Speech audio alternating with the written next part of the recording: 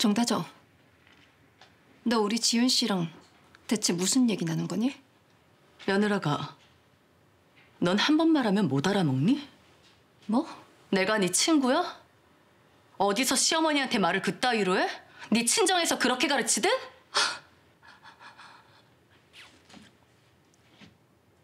가족은 건들지 말지.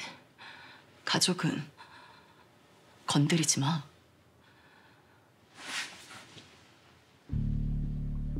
넌 수없이 우리 아빠를 건드리지 않았니? 심지어는 돌아가시기까지 했어 넌. 누명 씌우지 마. 내가 네가 한 짓을 영상으로 똑똑히 봤는데 시침을 때? 네가 우리 아빠 다리 잡아채서 넘어뜨린 거. 그 바람에 우리 아빠는 돌아가셨잖아. 또 그 얘기야?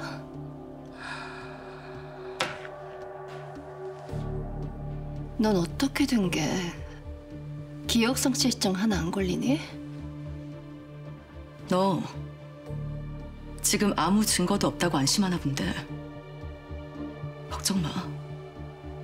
조만간 네 눈에서 피눈물 나게 해줄 테니까. 그래. 어디 한번 해봐. 참아주는 데도 한계가 있어. 해볼 테면 해보라고. 네가 안 참아. 그 영상 뺏으려고 나를 절벽에서 밀어놓고. 아무튼 좋아. 네 입으로 해보랬으니 해볼게. 그때 가서 싹싹 빌지나 마.